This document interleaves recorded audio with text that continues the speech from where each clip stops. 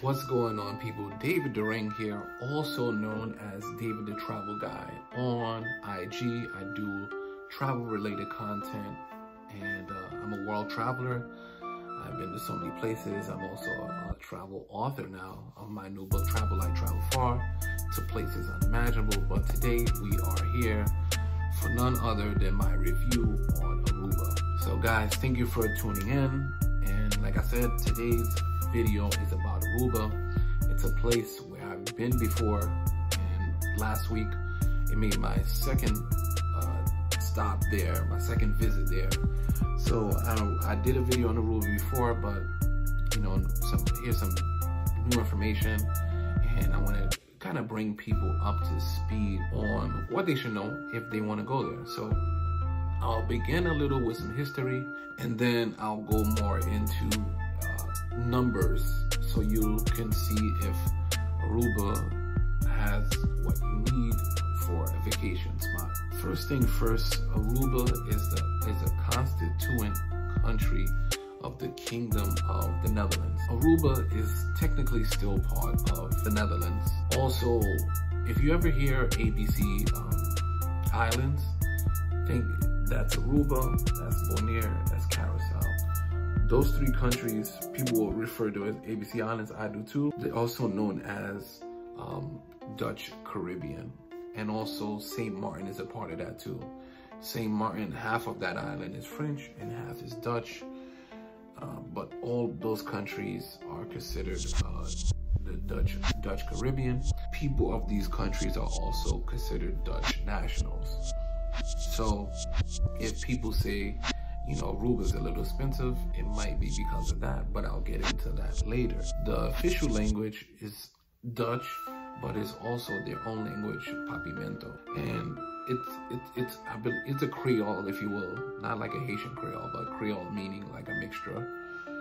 So it's Dutch and uh, Spanish and just different languages made for themselves. And what does the demographic of the island look like? And it's funny, when you're there, you really don't know who's a local. There's so many different type of people. People look different. But 66% of their population is Aruban. Uh, their total population is it's over uh, 112,000 people. So 66% is Aruban. I was surprised of this, but 9.1% of their population is Colombian. 4.1% is Dominican, 3.2 is Venezuelan, uh, 1.5 is Haitian, I think 1.2 is uh, Surinamese, 1.1 Peruvian, and 1.1 Chinese. Pretty interesting. There's a lot of Chinese businesses on the island, especially if you you're able to go out of the tourist areas. You'll see that most of the grocery stores and uh, laundromats, uh, whatever. For people who are well traveled in Latin America, you know this to be uh, the way of life in a lot of countries. Uh, the Chinese people are business owners all over Latin America. Central, South America, Caribbean, they're all over the place. So that's to be expected. And their currency, so as far as currency, they do have their own currency, but they also use American US dollar. So you don't, that's one of the places where you don't have to worry about, do I change too much? Did I change too little? You can use your dollar anywhere you go. It's fine. Their currency is called florin, a, Aruban florin. And so, but you don't have to worry about it if you have an American dollar. The capital is Oranjestad. They have North. They have St. Nicholas. They have Santa Cruz. They have Sabaneta. These are like different areas. If you're if you're gonna be um, for tourist purposes, You'll mostly probably be in downtown, which is like the Oranjestad area where the cruise ships dock and there's souvenir shops lined up. There's high-end fashion retail there. There's restaurants. Everything in the vicinity that will help tourists just, you know, not have to go too far. Now on to Aruba. So the great thing about Aruba is, it's one of those places that is so easy to get in you know, literally when I deplaned and when I went to, through immigration. Now, immigration, there's a line that forms with ropes and you're not waiting for an agent at that point. You're literally scanning your passport, smiling, and you're going. Then you have to go pick up your bags.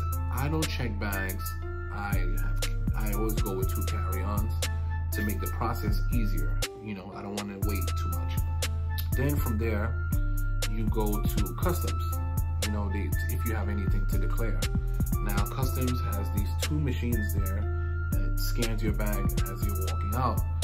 But on this trip, they just told us to walk right through. We didn't have to put our bags. And literally, I'll say 15 feet, you're right there out. Basically, you can be out on the street in 15 feet. Pretty, pretty reasonable and easy to get in. Not a lot of questions on why you're here, who you work for, not a lot of questions. Amazing. Once you exit the airport, you have your rental car options or you have your taxi options. The first time I went to Aruba, I didn't rent a car. I took a taxi to my hotel or bed and breakfast. And then I just stayed in the area. This time I rented a car. Uh, um, upon arriving, I didn't have, I didn't know I was gonna rent a car, but I decided last minute.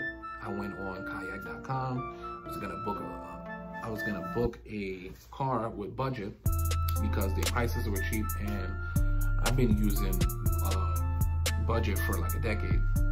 So when the app was trying to process everything, but it wasn't going through, I was thinking it was because of the internet. So I figured once I get into budget, I can, um, it will process by that point and I could just wait online and, you know, they'll find my reservation. And online, I saw that the car was about, I'll say like, it was between 35 to $45 a day. So I said, oh, I'll go for that went online and the customer's rep of Aruba said, um, if I just booked it, it won't go through. Like they won't get it. It has to be 24 hours. So I couldn't, uh, I couldn't use the prices online. So I said, okay, how much would it be for three days? And for three days, she she said over $200. And I heard the person next to me was getting their car for less than 200 and for, for more days, for like an extra day. I was leaving on Saturday, the other person was leaving on Sunday. They quoted that person less. Anyway, so I just left and the line was long. I just left. There was there's another rental car company called Amigos or Amigas that I went to.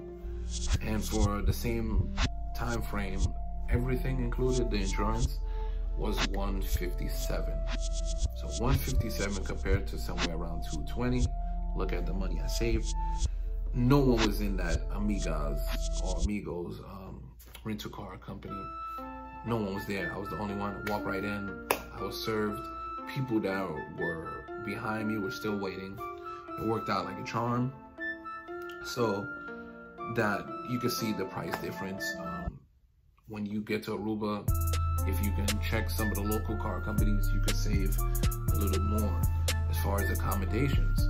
I, I mentioned like the first time I went was a smaller hotel in the capital. This time was in the um, in, the, in the area of like the high-rise hotel, the chains hotels in the Holiday Inn. So it was about it was over a thousand. So this is what you have to deal you have to, these are your options. The high-rise hotels, they're all gonna be over a thousand dollars. Um, you might get a deal if you do it early, but they're gonna be in that that that ballpark mainly because um, these places, like I mentioned, you know, Dutch Caribbean or anytime the Dutch or the English, they kind of oversee these islands. They, they still heavily tax these islands. So not only does the business have to make money, but compounded is, is the taxes. So you pay more because they, they pay more, pretty much. So that's that. Now, in terms of food, your food options are fast food, American fast food, McDonald's, Burger King. They have everything. Pizza Hut, Domino's, Taco Bell. I even saw Quiznos and Subway you have those options and then you have restaurants. The restaurants are gonna cost you just like if you were in New York. You know. The meals, for example, at, at like a regular restaurant, uh, I, one of our nice meals, dinners, was about, I think it was like 30 to $40 a plate for like, let's just say the meat by itself. I don't eat meat anymore, but let's just say for the fish, it was about 30 bucks by itself. Everything else that you want is add-ons. By the time you do that, drinks, whatever the case may be, taxes, tip, is over a hundred bucks. That's just to give you an idea. For breakfast, for two people in our hotel, like there's a restaurant, it was about 45 bucks for breakfast. So you're starting off the day, boom, $45 for a breakfast buffet. Or there's also Denny's as well in that area, the high-rise area. Denny's, if you guys are not familiar with, is like IHOP. Denny's is about the same price as over here, and it was less than $30. As far as activities, there's all type of activities in Aruba. There's uh, all type of water sports, zip lining, all these things. They're, they hover around like a hundred bucks. Me, personally, I like to do uh, off-road stuff. So the first time I went to Aruba, I rented a motorcycle. I think it was was it a Honda or a Kawasaki? I forget. No, Yamaha, Yamaha. Because George's is the place uh, where I rent before and, and again. And the first time I had a motor, I rented a motorcycle down in Aruba. In that place, you need a motorcycle license. I have one. If you don't, you're still good. You can ride other stuff, scooters, ATVs, all these other things. This time around, I got an ATV. It was $95 for four hours for a full day, nine to five, it's 125. And the first time I thought that they do a major hold, but that's not the case. They ask you for your hotel room that you, at the hotel you're staying in, the room, and a credit card on file, you know, for incidentals. That's the major part. Um, if you're a young person, you're looking to turn up, Aruba's not really that kind of spot. Literally, there's a lot of places in that hotel area that are open just between 5 p.m. and 10 p.m.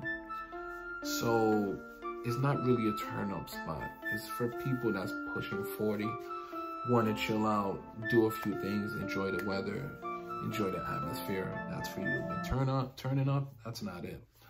In other islands where you turn up, 10 o'clock, people are not even out. You know, people are turning up one, two, three, four regular times. Aruba is not that spot if that's what you're looking for. Lastly, um, the only thing now, remember I said getting into Aruba is pretty easy, quick process.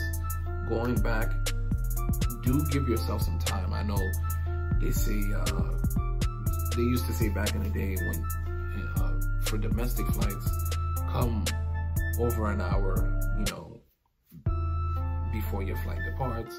And then international is at least two hours, but more really give your time yourself time for Aruba because the process does take longer. When you get when you want to depart, make sure you go to the right departure building. Then you get your ticket from any kiosk. If you're not checking bags, that's what I love. That that that did save me sometimes. Then you have to go right back outside. There's lines forming to uh, you have to show your show your ticket. You go in. You your, your first screening, the line is long. You go through the first screening from the Aruban officials, I'll say, or their equivalent of TSA. You think you're all good, like, oh, that wasn't that bad. Then you do some walking and long line again. Oh, before that long line, you get your bags. You take your bags with you uh, to passport control. Now, the Americans are there to screen you. That room is there's a lot. You're gonna be in there for like 35 to 40 minutes alone because once you enter, usually when you go into customs or immigration, the line starts from back and you work yourself to the front to the agent. But no, you go to the front, you work your way to the back of the room, and then you cross over and then it gets fed to the different agents. So it does take a lot of time, but the good thing is look on the bright side. When you do get to the US, you don't have to go through immigration. So that's the great thing about that system. And I love it because once I did arrive, I, I had time to wait. If I wanted to get something to eat, it was all good. Especially if you have tight connections. It helps that you don't have to uh, go through immigration, check your stuff in again. You did it all at one time. That was amazing. So I hope I helped you guys consider Aruba as a location. If you have any other questions, maybe I didn't go over something, maybe something was unclear, please uh, leave it down in the comment section and I'll be able to help you. Till next time, David Darang, over and out.